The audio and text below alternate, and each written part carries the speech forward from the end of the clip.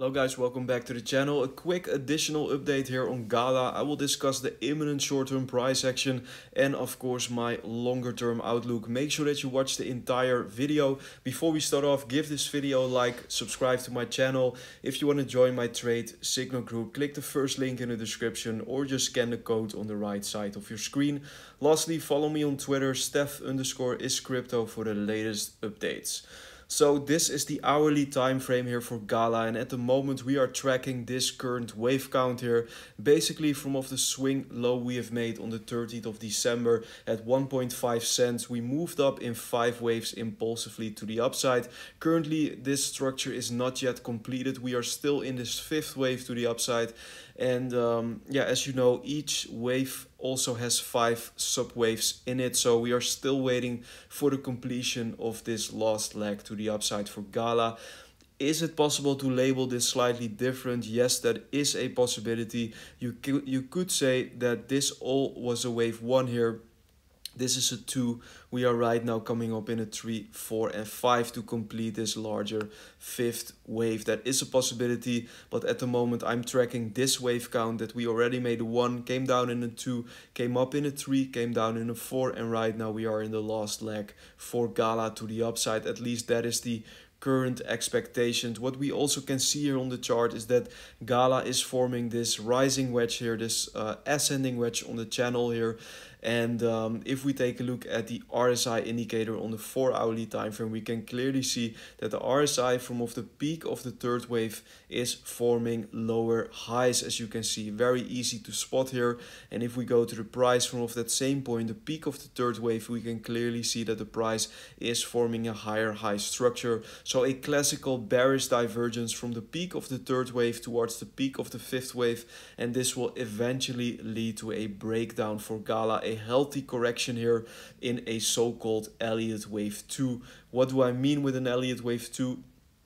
Well guys, if this all together was part of a larger wave 1 on the chart, then we will move down in a 2 and then there will be a 3 massive wave 3 to the upside for Gala. So this is at the moment my expectations. I still think there's one more push higher here for Gala. Uh, I don't know exactly how high this can go. I will give you the price targets, but as long as we are respecting this upward sloping resistance line of the wedge, I think this count is correct here. And let me actually give you the exact price targets here for this last leg to the upside for Gala. So what we can do, we can calculate here the length of this first impulse for Gala here the, of the fifth wave. So and if we put this on the bottom here of the second wave here, we can actually see that the third wave went exactly to the 1.618 Fibonacci extension level here on the logarithmic time scale, which is a perfect target for a third wave. That makes me believe that this is the correct wave count. So what is the price target for this fifth wave?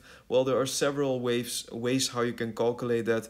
First of all, we're going to measure the length of this first wave and put this trend-based fib tool at the bottom of this potential fourth wave here. And then we are looking for the one-to-one -one ratio and that is coming in at 5.6 cents. However, as you can see, the 5.6 cent level is not uh, is not coming uh, yeah in contact with this upward sloping resistance line. So what I do expect is Gala to move a little bit higher, maybe towards the region of 6 cents anywhere in that region, it would be an um, yeah a very likely place for Gala to top out because that is also aligning with this upward sloping resistance line of the wedge. So that could be a possible scenario.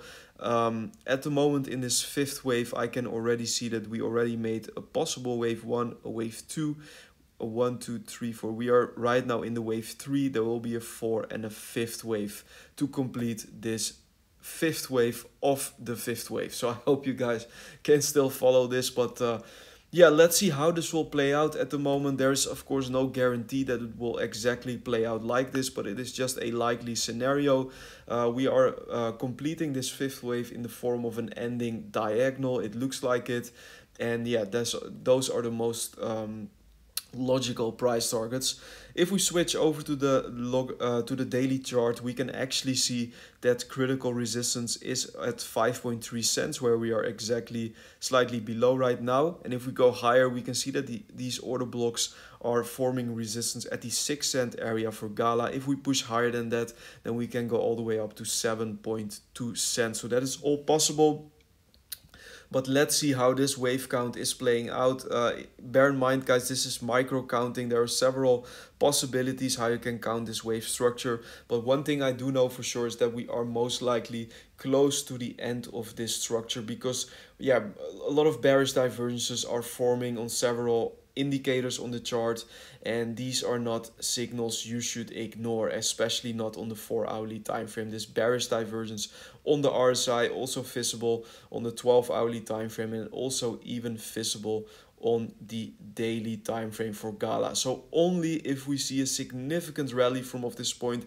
and the RSI goes above this peak here of 91, only then we are invalidating this bearish divergence. But to be very honest, I don't see that happening. It is a possibility, but it is just less likely. So that's my analysis for Gala. I think the current price is still attractive to dollar cost averaging into this asset since we are down 95% from the all-time high.